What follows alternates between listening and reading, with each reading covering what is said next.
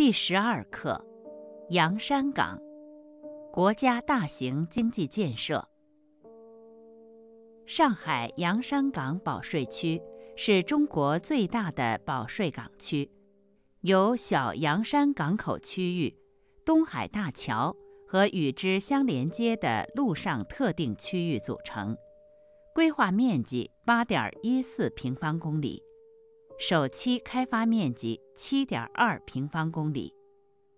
洋山保税港区享受保税区、出口加工区相关税收和外汇管理政策。它后来居上，集国内保税区、出口加工区、保税物流园区三方面的政策优势于一体，达到了目前中国国内保税港区的最优惠待遇。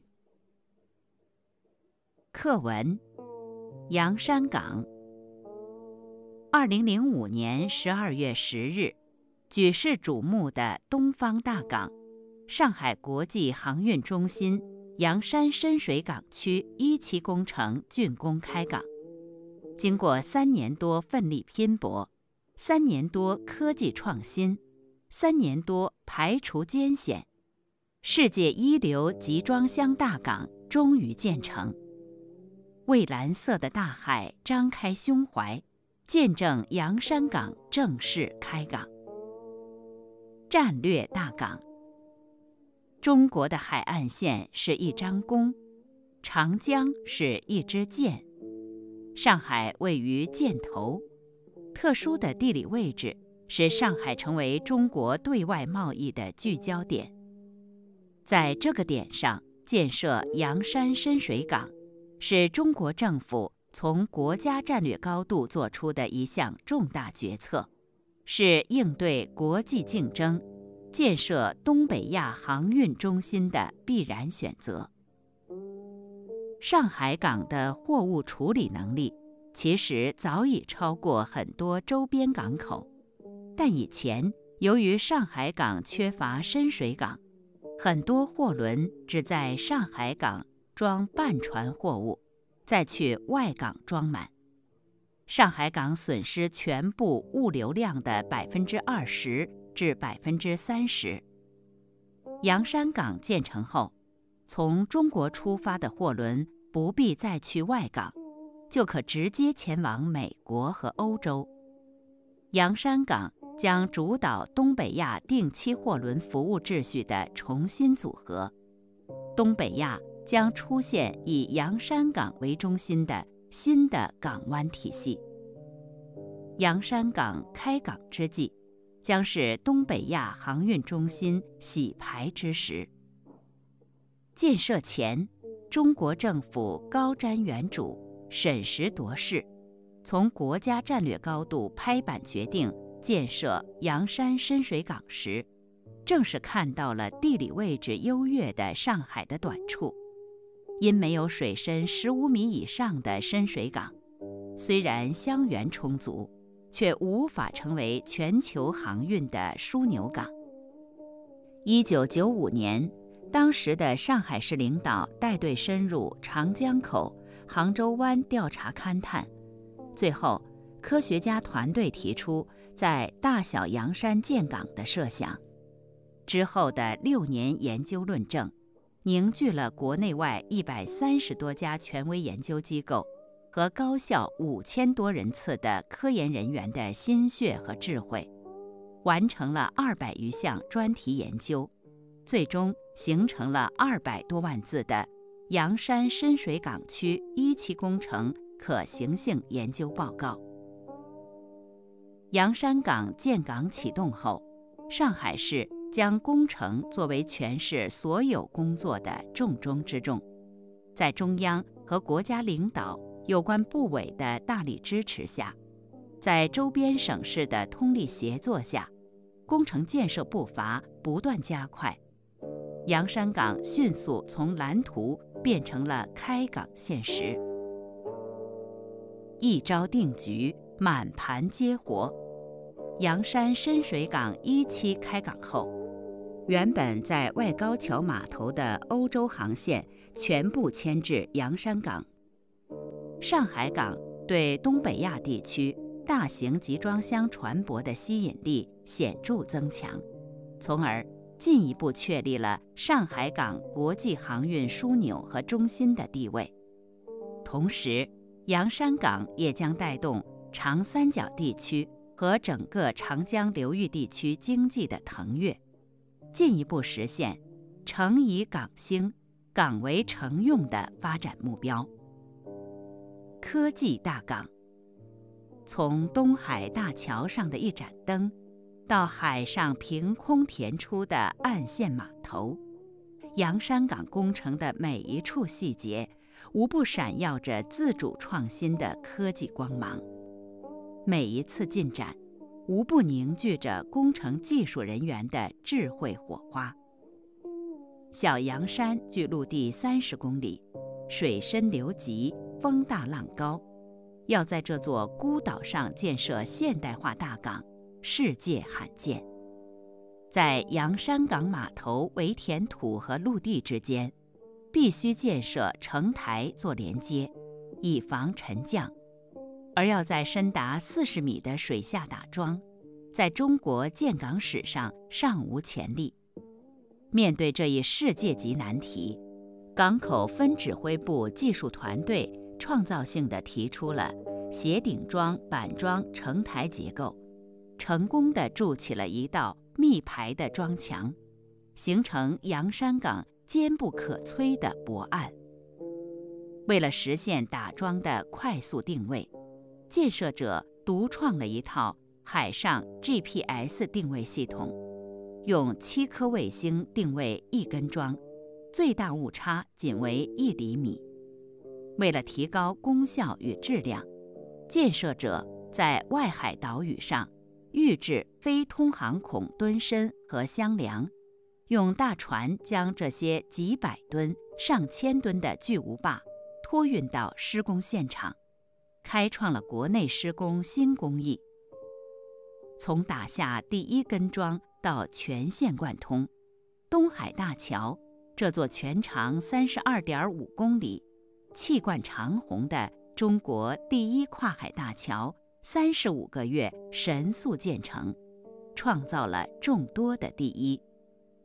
国际上第一次使用钢混凝土叠合式梁，创造了一次浇筑八千三百立方米混凝土的记录；第一次采用负二十米以上深水软体铺排施工方式，创造了日吹填量十五万立方米的最高纪录。在大桥分指挥部掌门人黄荣的带领下。大桥工程进行了二十多项科研实验，已获得和正在申请的技术专利达四十多项。洋山港的建设检验了中国港口建设的尖端技术和创新能力，培育了一批领军人物和技术人才。他们以科学求实、严肃认真的态度，努力钻研核心技术。不断探索适应重大工程科学管理的新模式，确保工程成为一流精品。绿色大港，洋山港不惜巨资投入环保，致力于将洋山港打造成绿色大港。洋山深水港一二期的环保投入达到二点一亿元，一二期工程验收之际。专家对洋山港区的环境保护给予了高度评价。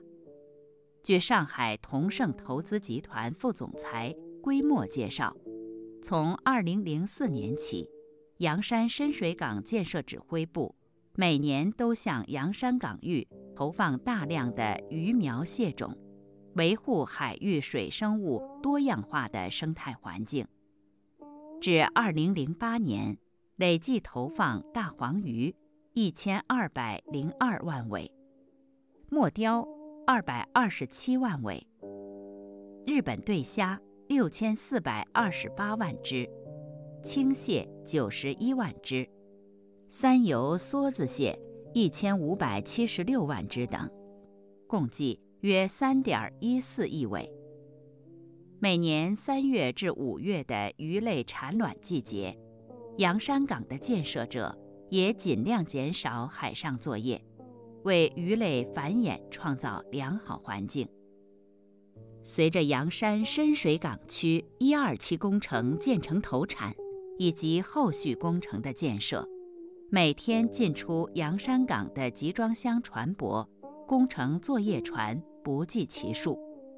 考虑到船舶的生活垃圾、含油污水会对海域环境带来威胁，洋山港建设指挥部特意花巨资建造了一艘五百万吨的垃圾收集船，作为洋山港的水上清道夫。同时，洋山港还坚持实行清污分流原则，优化排水方案。先后建设了三套生活污水处理设施，凡是芦潮港辅助区和危险品作业区产生的污水，必须经过预处理达标后，才能进入城市污水处理系统。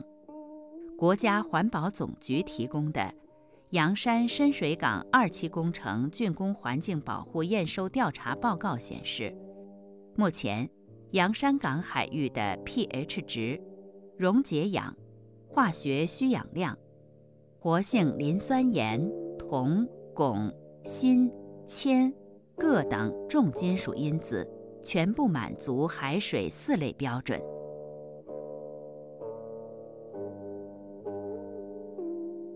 生词：深水港，七，竣工，拼搏。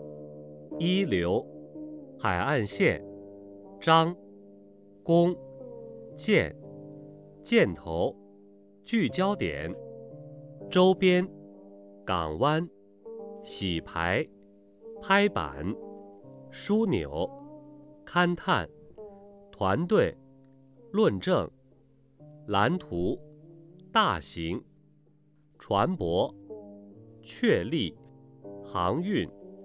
腾跃，展，凭空，闪耀，智慧，火花，罕见，沉降，打桩，斜顶桩板桩成台结构，泊岸，独创，GPS 定位系统，误差，外海，预制。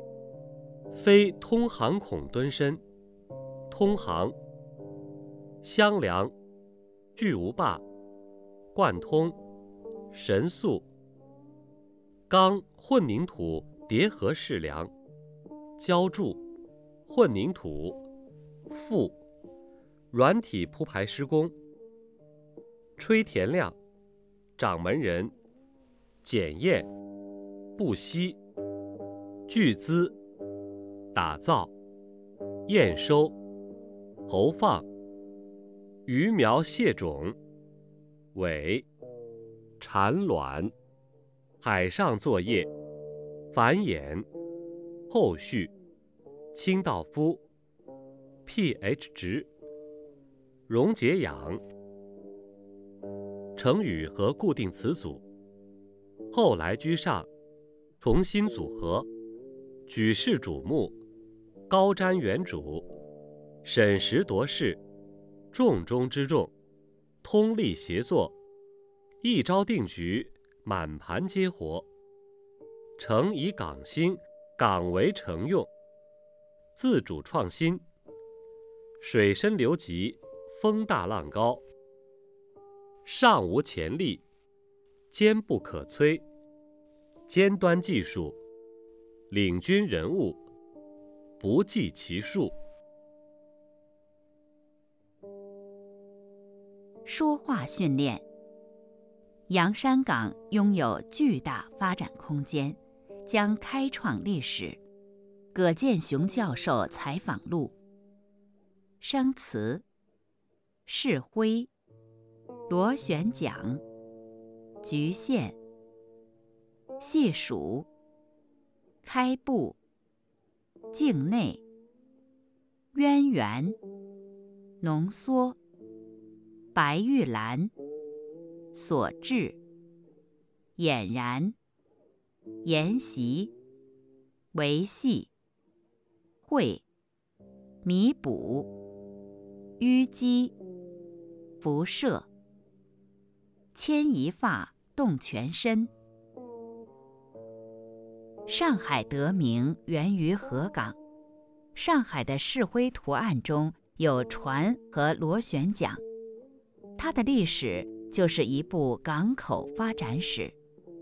洋山深水港的影响力不仅不局限于上海，不局限于长三角，还将走向全国甚至全世界。复旦大学教授。中国历史地理研究专家葛剑雄昨天为记者细数悠悠八百年上海港历史。上海开埠至今只有短短一个半世纪，为何港口史已有八百年之久？上海其实是先有港后有城，最早于唐末宋初，在现在的松江和青浦境内，出现了古老的两大港。华亭镇、青龙镇。南宋末年，上海港已是非常繁荣，此时时有上海镇，所以严格说来，上海港的历史渊源比城更久。那上海港的发展是否可以说浓缩了上海城市的发展史？上海自古就是个港城，可以说。上海发展史就是一个港口的发展史。上海市的市徽除了市花白玉兰，另两个图案标志是沙船和螺旋桨。现在洋山港入了东海，上海也发展成了现代化国际大都市。东亚水运枢纽第一大港将是未来可见的目标。为何港口不断扩展壮大？上海城市也得以渐渐兴盛。航运自古以来具有重要地位，航运发达了，对外贸易就能兴盛，也能拉动周边产业。上海开埠后尤为明显。二十世纪三十年代，上海之所以成为远东第一大都市，就是黄浦江两岸航运的兴盛所致。英、法。德、美等国的航运公司纷纷开设欧洲至上海的航线，一切外国商船到中国，不论目的港在哪里，都要开到上海。上海俨然已是国际意义上的航运基地。现代交通手段日益发达，航运的重要性还能维系吗？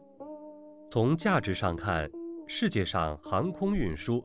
占了货物价值的百分之三十到百分之四十，但所运货物是有限制的，从吨位上还要靠海运，尤其现代航运吞吐量一大，就能抵消时间上的缺陷。与陆路运输比较，航运成本更低。上海发展航运，除了历史的沿袭，还有什么其他必要理由吗？如果说悠久的港口发展历史是天时，那江海之会，南北之中就是上海的地利。从港口发展史角度看，洋山港最大的跨越是什么？走出了黄浦江，真正做到了江海之会。这可以说是一个历史性的飞跃，也弥补了历史缺陷。上海以往都是河流型港口。外高桥容量有限，洋山港就在海上，水深和淤积不成问题，真正让江海之会发挥了作用，将长江流域、黄浦江与世界贸易联系了起来。是否意味着洋山港的辐射范围将走出上海？对，上海将会是牵一发动全身，长三角带动全国经济，上海。更是面向全世界的新上海。对洋山港的未来展望一下吧。洋山港本身优势很明显，前面路子广阔，背后腹地纵深，港口本身也还有很大的发展空间。关键是做好软管理，包括政策保证、后方保税区的整合、与上海其他港口的角色分配，还有交通的配套。一条东海大桥能不能保证物资疏通？步子既然跨出去了，如果跨得漂亮，就是开创历史。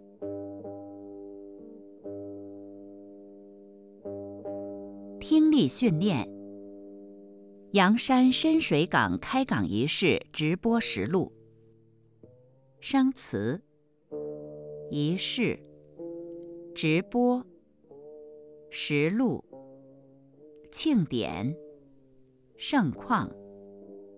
各在，据悉，概率，高耸，幸运儿，横幅，氢气球，隆重，驻足，瓶颈，点睛，画龙点睛，揭牌，烟花。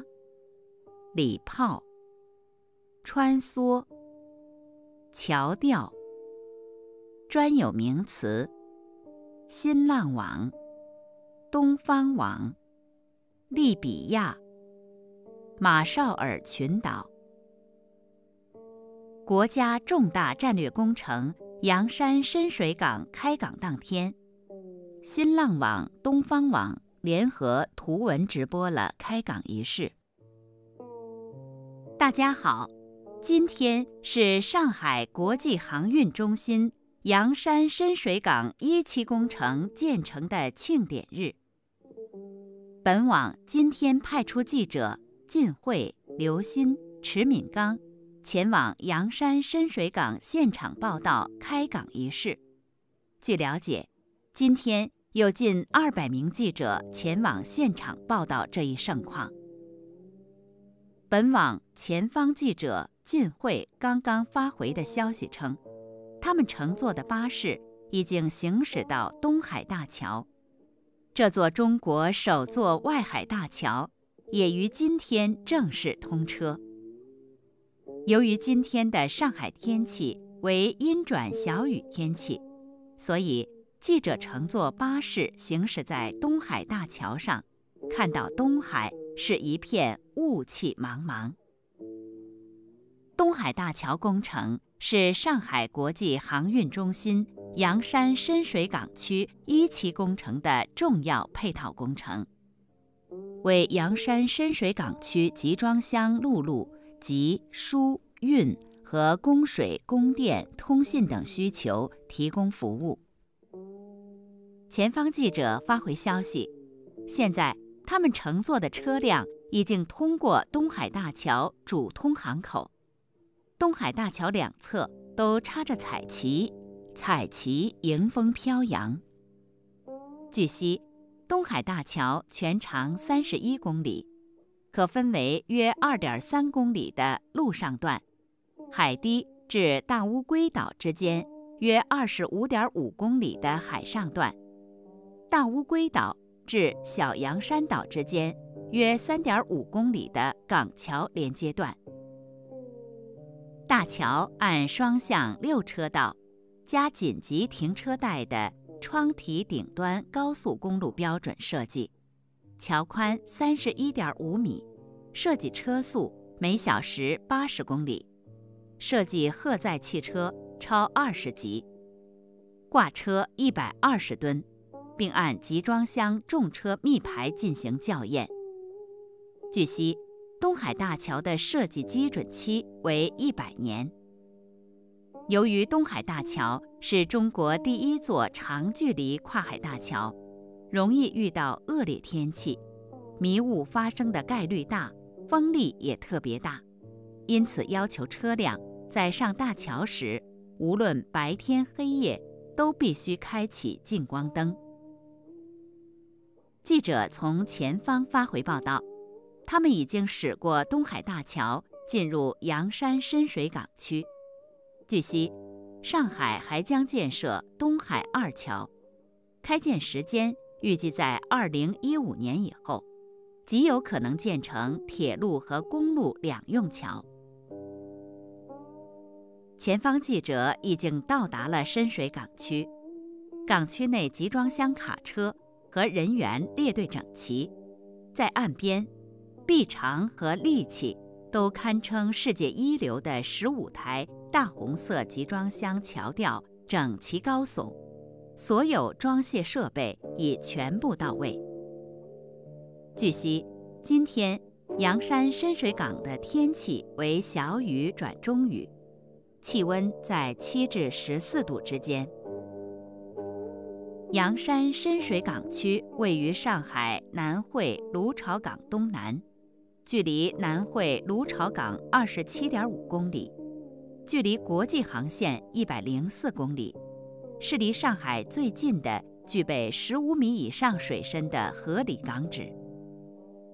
它是世界上唯一建在外海岛屿上的离岸式集装箱码头。洋山港一期工程。填海造出一百三十万平方米的陆地，相当于一百八十个足球场。规划至二零二零年，北港区小洋山一侧可形成十公里左右深水岸线，布置三十多个泊位，集装箱吞吐能力一千五百万标准箱以上。阳山保税港区是国务院批准设立的。国家第一个保税港区，由小阳山港口区域、东海大桥和与之相连接的陆上特定区域组成，规划面积八点一四平方公里，首期开发面积七点二平方公里。阳山保税港区设立后，享受保税区、出口加工区相关税收和外汇管理政策。前方记者发回报道：由于阳山深水港建设具有国家战略的重要意义，因此今天的开港仪式引来了近二百位中外记者前来报道。现在，许多电视台的记者正在播发现场报道，而摄影记者则是长枪短炮拍摄开港当日的第一现场。阳山今日开港。哪艘船第一靠泊？记者了解到，远道而来的希腊籍南非安特卫普号集装箱船舶，船长三百零四米，总箱位六千二百五十二国际标准箱，今晨第一个进港靠泊。今天还有中国香港的中远汉堡号和马绍尔群岛的韩进赫尔辛基号。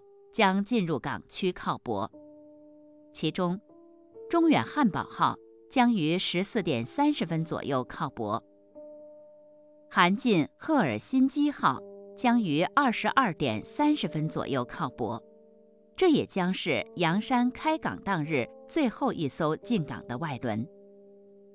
他们将与利比里亚籍的中远中国号及中国籍的新天津号一起。成为见证洋山开港的五位幸运儿。在开港仪式的现场，本网记者看到氢气球拉起一条条横幅，一条上面写着“热烈庆祝阳山保税港区启用”，还有一条写着“热烈庆祝阳山深水港区隆重开港”，还有一条写着“精心组织”。一丝不苟，建设世界一流港口。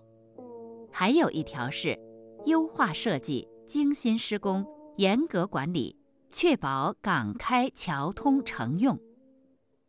现在，记者们都到了开港仪式的现场，在一旁的厂区堆场上，数十个集装箱被层层叠起，集装箱上可看到中远集团。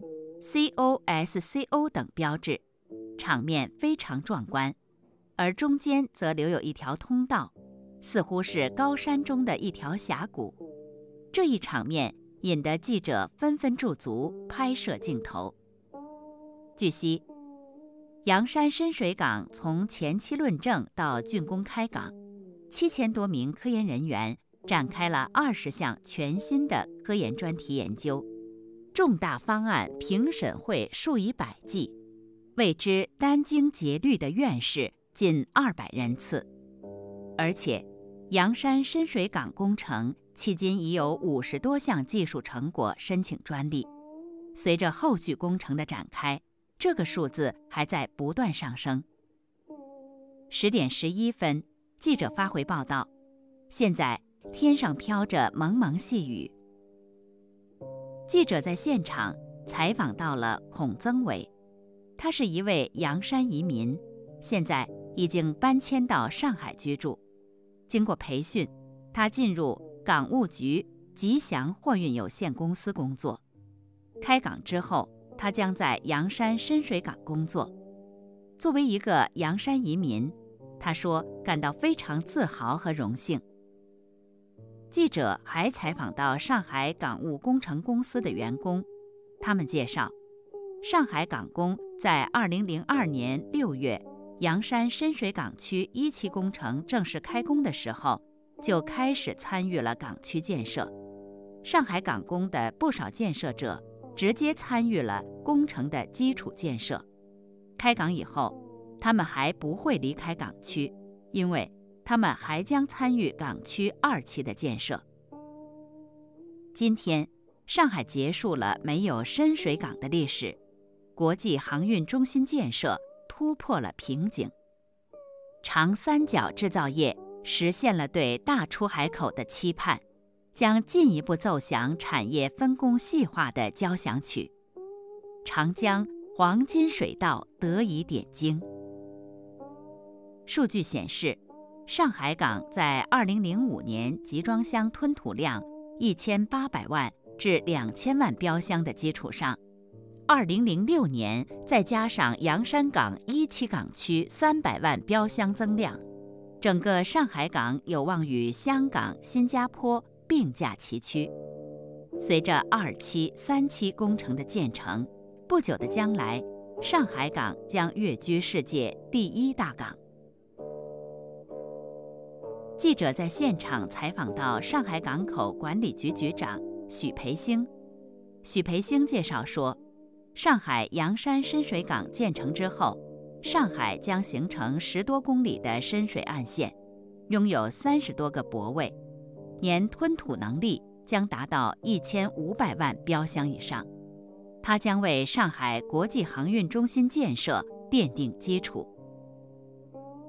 许培兴指出，随着洋山港建设的推进，长江流域集装箱运输体系将以其为核心，中国各内河港口将中西部省区的出口货物通过长江航线。发往洋山港，中转后由远洋货轮运往世界各地。来自世界各地的原材料经洋山港分装后再转运各地。据悉，今后上海港可能分工为上海外高桥港口更多承担为长三角地区服务的角色。而洋山港以长江流域内陆地区为主要服务对象。许培兴透露，上海的长江战略已经有很详细的操作步骤，将根据航道情况，在洋山至南京线上投放一千标准箱集装箱船，在武汉线上投放五百标箱船，在重庆投放二百标箱船。长江南京段以下港口将输出集装箱集中在外高桥码头，通过水上巴士短驳到洋山港漂洋过海。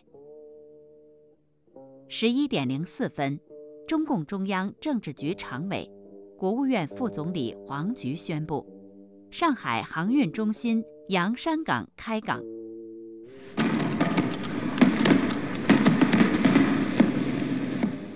为了庆祝开港，现在燃放起烟花和礼炮，彩色气球放飞天空，现场响起了喜悦的音乐，一片喜庆气氛。记者看到许多人相拥在一起，非常兴奋。现在，阳山这里天上飘着小雨，但是阳山深水港区一片喜气洋洋。人们无不为开港感到高兴和自豪。现场集装箱卡车穿梭在港区之间，大型桥吊也开始装卸集装箱，一片繁忙景象。直播到此结束，谢谢大家。